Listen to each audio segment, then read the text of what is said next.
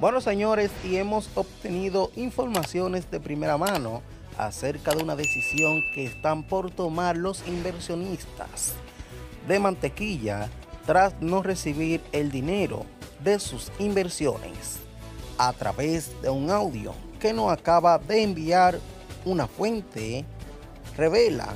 en exclusiva qué van a hacer los inversionistas contra los familiares de mantequilla y el mismo mantequilla para que éste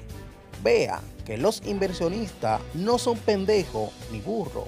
y que tampoco se van a dejar engañar ni estafar de Wilkin García Peguero y su empresa 3.14 Inversiones. Cabe destacar que en diversas ocasiones se han visto a los inversionistas a través de video haciéndole amenaza públicamente a Wilkin García y ejerciendo presión de diversas formas para que Wilkin García quizás se tolere de esto y le envíe o le pague el dinero invertido a través de su empresa de 3.14 inversiones. Y Wilkin García responde con no cogerle presión a ningún inversionista y que éste tiene previsto pagarle a todos los inversionistas antes del 24 de diciembre, pero que no concuerda que muchos inversionistas tienen aproximadamente unos tres meses con recibo de la empresa de 3.14 inversiones ya vencido y no ha recibido su dinero, por lo que también tienen diversas necesidades, ya que cuyo dinero que entraron a esa oficina en muchas ocasiones empotecaron su casa o cogieron el dinero prestado a un alto costo, por lo que quizás si el 24 de diciembre, que es la fecha última que dio a conocer Wilkin García, donde finalmente saldará todas las deudas que tiene por entregarle a los inversionistas, que asciende a 150 millones de pesos a unos 600 inversionistas. Esta cantidad de dinero que tiene que devolverle a cada inversionista en algunas ocasiones no va a saldarle la deuda que estos inversionistas han hecho confiando plenamente en Virgen García Peguero, el multiplicador de dinero. Entonces, señores, mientras los inversionistas tienen su cabeza atormentada, Wilkin García y sus empleados y algunos de sus familiares continúan construyendo casas,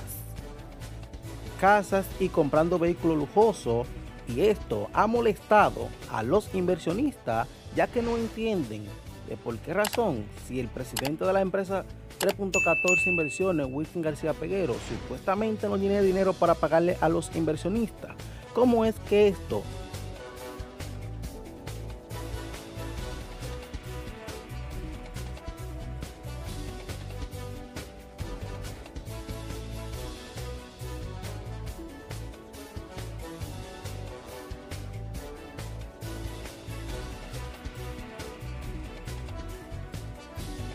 a los inversionistas traerá severas consecuencias. A continuación le mostraré en exclusiva todos los detalles de qué pretenden hacer ahora los inversionistas en contra de Wilkin García Peguero en reclamo de que éste le devuelva el dinero de las inversiones realizadas. Hola, ¿qué tal? Sean bienvenidos una vez más a una nueva noticia de su canal de noticias. Ya llegó la hora dos puntos. Bueno, señores, y estuvimos conversando con una fuente, el cual no vamos a mostrar directamente la información detallada con la voz de él, sino que vamos a modificar la voz. Recuerden que la fuente deben de ser protegida por muchas razones. Bueno señores, y esta fuente nos acaba de filtrar un audio donde los inversionistas han tomado la decisión de convocarse uno a otro para comenzar a destruir todas las casas que le pertenecen a los familiares de Wilkin García Peguero y cuyas casas que también se encuentran en construcción con dicho dinero que tienen que entregarle al pueblo de Sabana Grande de Boyá, en cuyo audio que no acaba de mandar esta fuente se escucha decir a un inversionista, Joerbi Joerbi convoca a los tigres para que busquen mandaria. Y supongo que todos los objetos necesarios utilizables para demolición de, una, de un hogar o una casa en construcción para así comenzar a demolerle todas las casas que le pertenecen a los familiares de Wilkin García Peguero a partir de este lunes. Joelvi, Joelvi, convoca a los tigres que busquen mandaria, que el lunes, el lunes, la casa de todos los familiares de él la vamos a desbaratar. Convoca a los tigres, que la casa de los familiares de Mantequilla la vamos a desbaratar, que busquen mandaria, que él, va a tener que hacer algo. Háblate con los tigres, tíralo en el grupo esto, que le vamos a desbaratar toda la casa de los familiares, toda la casa que están construyendo, se le va a desbaratar mandaria. En conversación con nuestra fuente le preguntamos específicamente cuáles son las casas que los inversionistas piensan demoler.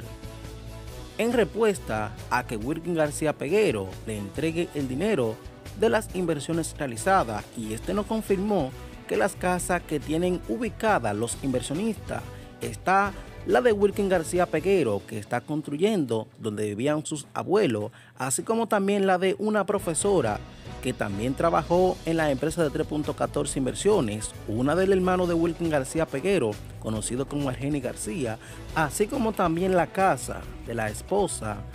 de Mantequilla.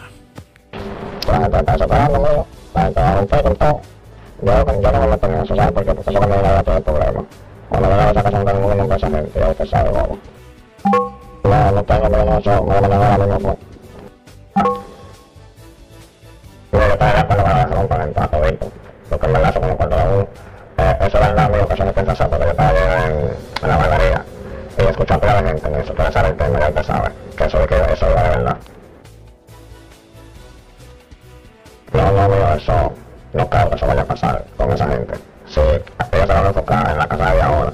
en la casa de, de la mujer de Kikito que está haciendo una,